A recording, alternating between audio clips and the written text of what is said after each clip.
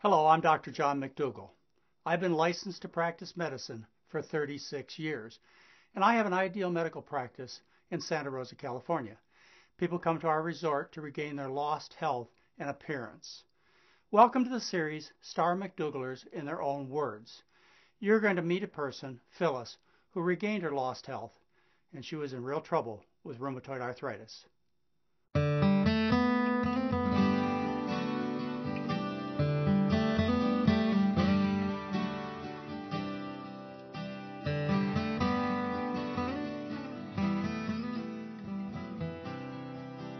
I started to experience pain at, uh, at various times.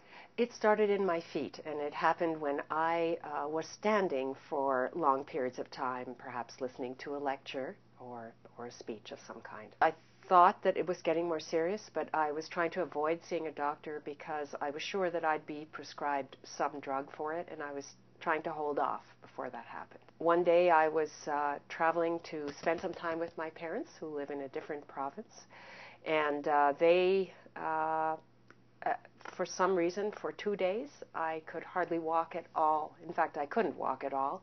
And uh, it was so bad that as I tried to walk, I was literally, tears were going, you know, uh, were running down my face through the pain that I was having, and I just didn't understand what it was from. I went first to my uh, family practitioner, who then um, uh, recommended to me a, a, rheumatologist, and that's a doctor who specializes in, um, well, in what I ended up having, but uh, um, I guess rheumatologist is autoimmune diseases, or, or uh, in my case, it was um, rheumatoid arthritis. And she immediately wrote out a prescription for me. Uh, and I asked what that was, and she said uh, it was something called methotrexate. Uh, I found out later that that's a drug that uh, is uh, used to treat cancer patients, or a form of it is. But at the time, she told me it was a very strong drug, and I would need to take this for the rest of my life. And then she immediately said, Now I want to schedule the first uh, blood test for you. And I said, What is that? She said, You're going to have to come back at the beginning. I believe it was something like every th- three to six weeks to have my blood tested. I asked, What, what, what was that about? And she said that it could have an, a very adverse effect on the liver unless it was monitored properly. So I, you know, I was, um, I guess I wasn't absorbing a lot of what she was saying, but what I did absorb is that it was a very serious drug. But I guess I forgot to tell you that the last thing she said to me is, take your time and, and you can, she knew I was going to look on the internet and things. She said, but you'll be back really soon. Um, uh, because really, uh, you're looking for some cure through food, and there is none. So that was probably more frightening to me than, than anything. And so my reaction as I walked out of her office is that I have a terrible disease, and I, I and that it was. I guess I describe it as almost like a death sentence, and I don't know because I didn't know enough about it then, but it sounded like it was grave, and it was something that I really had to deal with quickly. I, I, I, had a very, very good reaction to it. It was very, very, very quick. I, I tried to follow it. You know, uh, anyone coming from a, a the non-McDougall diet, it's, it's hard to replace everything. Uh, but very, very soon after that, I saw some very positive effects on me in that the, uh, the pain was reduced quite substantially. But in my particular case, it did not go away 100%. And there were a number of plant allergens that I did not know about that were mentioned in the book. And I thought I needed to go a little bit further because I was not getting the kind of effects that I wanted, which was nothing less than 100%. And just like that. And so the five plant al- allergens um, were uh, wheat and corn and citrus and tomatoes and strawberries. And so I went on uh, a, a, sort of mini elimination diet, also described in the book. And uh, so I eliminated those five allergens, and then I started adding them back. And uh, major reactions occurred with wheat and also with the citrus fruits. And so, uh, and uh, on a lesser level with the corn. And so that was what did it.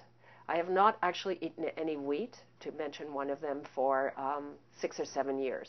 And I just won't because I'm just afraid because everything is so perfect now. I have zero limitations. I don't have any limitations whatsoever. And uh, if this was a different sort of show, I'd jump up and down on my feet and show you how pain free I really am. But the one thing I do show when people ask me, the first thing I do is I make a fist like that. If you know people with rheumatoid, those who people who who might not know people with rheumatoid arthritis, one of the first places is the hand. And I couldn't make a fist for years, and I didn't have at least two or three swollen fingers for years. In other words, I had swelling for, for years, even though they were different fingers. So for me to be able to go like that in the most natural way without any pain, with the kind of arthritis that I had, is something so extraordinary. That is why every day I wake up and I say, I have no pain, and I feel wonderful today. This is a dietary disease, and there are 25 papers in the scientific literature that clearly say this is a dietary disease, and if you change your diet toward the diet that I recommend, that you will get much better. In fact, many people get cured of rheumatoid arthritis and similar types of arthritis. Now, Phyllis had to take a bit of an extra step. It wasn't just the basic McDougall diet of starches, vegetables, and fruits. She also had to eliminate wheat and corn and soy products, and then she got better. There's actually an elimination diet that I use with people, and this is a basic diet of the foods that are least likely to cause arthritis and other problems. It's a diet of sweet potatoes and brown rice, and green and yellow vegetables, and fruits, non citrus fruits, all thoroughly cooked.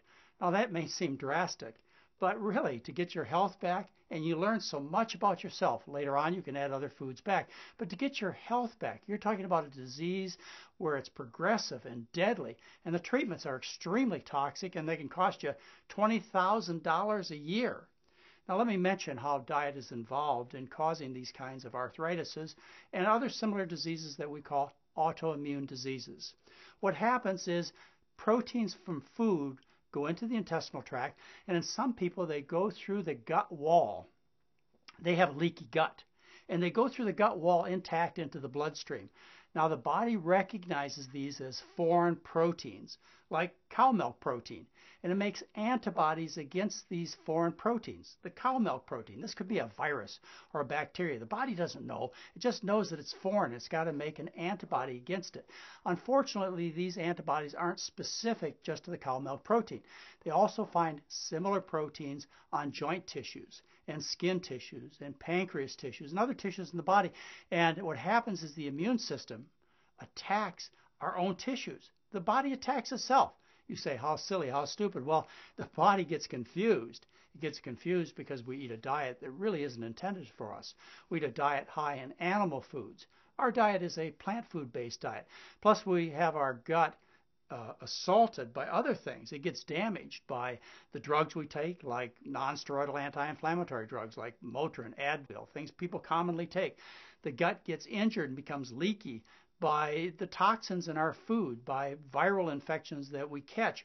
And as a result, when it gets leaky, these foreign proteins go into the bloodstream and the body develops these autoimmune diseases.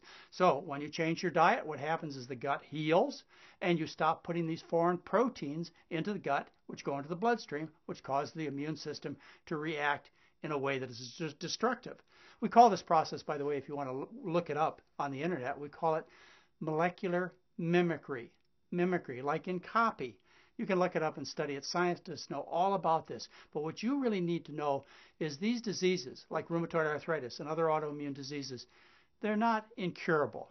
Drugs are not the answer. It's within your control. Cost free, highly effective, non toxic, in your control. Change your diet now.